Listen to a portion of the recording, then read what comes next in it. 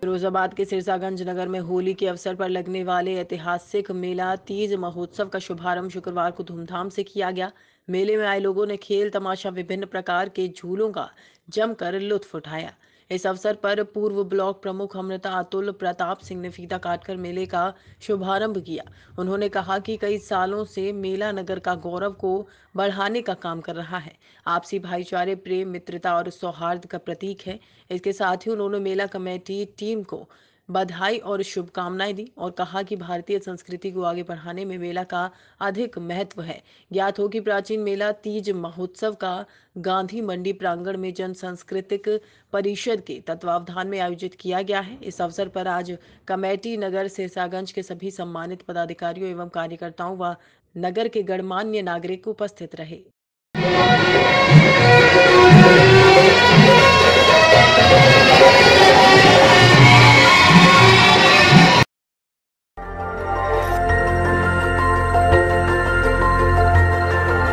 देखते रहिए डीबी भारती समाचार नज़र हर खबर पर।